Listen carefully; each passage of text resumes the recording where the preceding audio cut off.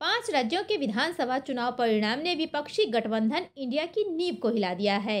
राजस्थान, मध्य प्रदेश, छत्तीसगढ़ में सत्ता खोने के बाद कांग्रेस अध्यक्ष मल्लिकार्जुन खड़गे ने अब 17 दिसंबर को इंडिया गठबंधन के सभी 28 घटक दलों को बुलाया है। राष्ट्रीय जनता दल सुप्रीमो लालू यादव ने कहा कि इंडिया अलायंस की बैठक अब 17 दिसंबर को दिल्ली में होगी।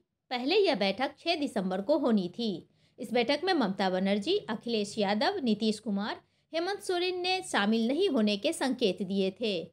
माना जा रहा है कि कांग्रेस अब बैकफुट पर है और अब इंडिया गठबंधन को एकजुट करने में जुटी हुई है। विधानसभा चुनाव परिणाम के बाद इंडिया गठबंधन लोकसभा चुनाव को टारगेट कर रही है।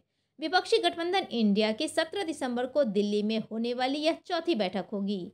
देश में सिर्फ़ कर्नाटक, तेलंगाना और हिमाचल प्रदेश तक सिमटने से इंडिया गठबंधन में कांग्रेस की स्थिति कमज़ोर हुई है। सपा और तृणमूल समेत क्षेत्रीय शक्तियों को लग रहा है कि जब कांग्रेस लगातार कमज़ोर हो रही है तो उसके साथ बने रहने या उसे लोकसभा चुनाव में ज़्यादा सीटें देने से कोई फ़ायदा नहीं। इस तरह की अपडेट खबरों के लिए बने रहें एमजी मीडिया न्यूज़ के साथ।